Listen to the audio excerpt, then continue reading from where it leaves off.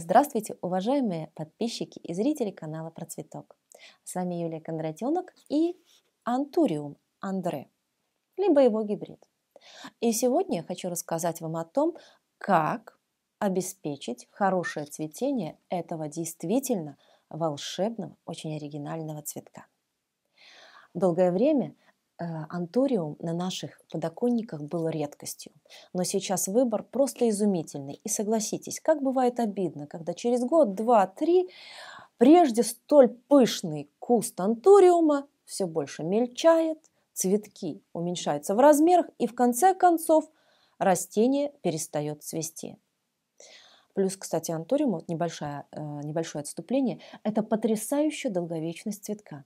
Вот этот вот товарищ в лучшие свои годы держал цветок от момента распускания до полной потери декоративности более полугода. Одновременно он мог выпустить до 3, 5, 7 цветков. Но, к сожалению, время не щадит и его. Время идет, он стареет, и цветов все меньше и меньше. Так как же вернуть антуриуму молодость и обеспечить красоту на своем подоконнике на долгие-долгие годы. Для этого, во-первых, нужно знать особенности антуриумов и их требования к условиям жизни.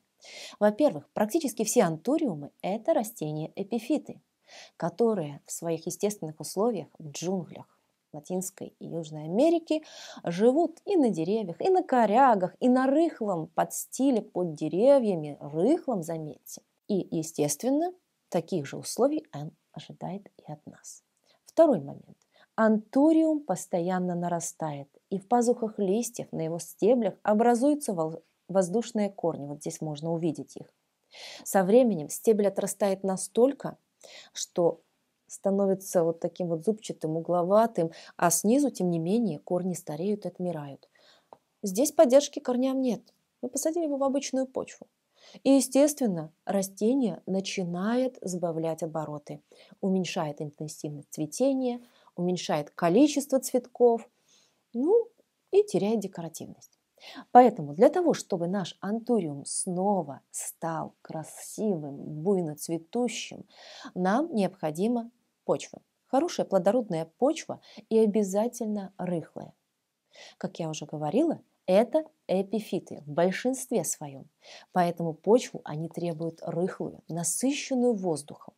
Для этого в нее можно добавить древесную кору измельченную, рыхлый торф, близкий к нейтральному, а либо добавить перлит. Ну и, конечно, почва должна быть плодородная. То, что она для эпифитов не означает, что можно взять просто сфагнум, как для орхидеи, и посадить. Нет. Лучше взять хорошую плодородную почву, которая содержит и азот, и фосфор, и калий в хороших соответствующих растений пропорциях. Итак, у нас есть почва, у нас есть хороший горшок, у нас есть дренаж и пациент. После того, как мы извлечем его из почвы, отряхнем ее с почвы, с корней, нужно обязательно внимательно осмотреть корни. Удалить при помощи чистого секатора все отмершие, поврежденные, старые, поломанные корешки. Дело в том, что со временем э, в почве могут завестись такие нехорошие насекомые, как комарики, сциариды. Они питаются корешками, обрастающими корешками растений и способны нанести серьезный ущерб декоративности, просто ослабляя растение. Через повреждения на корнях, которые наносят сциариды, в корешки попадают грибки. Они начинают отгнивать. И это еще больше ухудшает состояние наших растений комнатных. Поэтому осматриваем тщательно. Если у нас, не дай бог, сциариды завелись, вы замечали малюсеньких комариков, которые летают возле вазонниц, то, конечно, особое внимание обращаем на то, как подготовить корневую систему к посадке.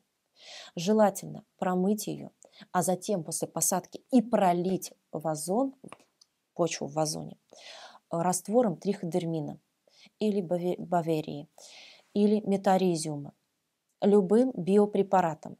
Мы не можем использовать комнатных условиях серьезные химические препараты. Ведь этим воздухом это, э, мы дышим, в этом помещении мы живем, мы находимся в нем и должны заботиться о собственном здоровье, не только о безопасности и здоровье наших растений. Поэтому все внимание на биопрепараты. Если у вас есть комарики, промываем корешки от почвы и промываем их в растворе, допустим, триходермина. Можно также использовать фитоверм при поливе, при защите. Это тоже имеем в виду. Итак, мы очистили корни от отмерших остатков. Мы убедились, что на них нет повреждений от комарика, и после этого приступаем к посадке. Перед этим, кстати, очищаем стебель антуриума от, вот здесь у нас будут э, черешки отмершие. Здесь у нас идут прилистники, мы их тоже удалим. Почему? Мы должны его немножко заглубить, с тем, чтобы вот эти вот новые воздушные корни оказались в почве. Но ростовую точку ни в коем случае заглублять нельзя.